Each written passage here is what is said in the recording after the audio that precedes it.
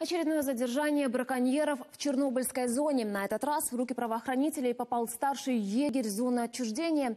Кто и как занимается незаконным выловом рыбы в закрытой территории, подробности в сюжете. Без труда не выловишь и рыбку из пруда. Эта поговорка давно не актуальна для риболовов-браконьєрів. Ось пристрій.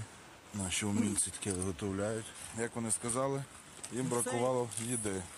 На рыбалку пришли с электроудочкой. Когда ее опускают в воду, происходит разряд, и вся рыба в водоеме всплывает на поверхность. Последствия впечатляют. Подобная рыбалка бывает опасной для самих браконьеров. Приобрести такую удочку довольно просто. Цены в сети стартуют от 300 и доходят почти до 4000 гривен. Правоохранители часто проводят рейды и ловят браконьеров. Но есть в Украине поистине райские места для подпольной рыбалки. Запрошують або по договоренності якісь приїжджають в зону відчуження і виловлюють дуже багато риби. Ну, в якому обсязі? Там тисячі тонн, може бути і тисячі тонн.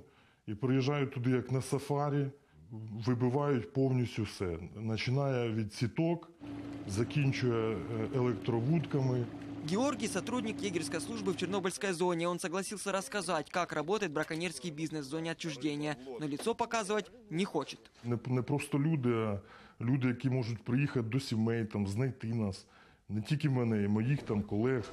Чтобы порыбачить в зоне, необходимо иметь серьезные связи, уверяет Георгий. Головний е, єгер е, Давиденко, йому дзвонять, щоб він організовував ці всі е, рибалки. Приїжджають е, всі е, такі чини, люди в чинах. От, виїжджають на лодках, знають, куди їхати, знають е, територію. І сам е, Давиденко керує це все. Це 100% ми це знаємо. І не один факт є у нас з приводу того, що це він все організатор цих от е, незаконних виловів. Ну, це ж його і спіймали. Там 46 сомів було і десь близько 700-800 десь кілограмів е, сома було виловлено. Це електроудкою.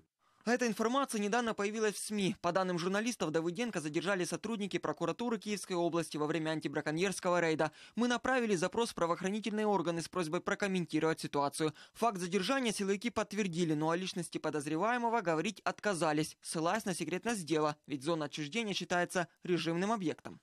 Орудуют браконьеры целыми бандами. В медиа постоянно появляется информация о задержании браконьеров. Об этой проблеме говорят и в Кабмине. Собираются бороться повышением тарифов. Но даже это, говорит Игорь Георгий, вряд ли испугает браконьеров, ведь полученная прибыль куда значительнее. По данным Госрыбагентства, более половины рыбы попадает на прилавки незаконно. Константин Редин, Вячеслав Медведев. Подробности телеканала Интер.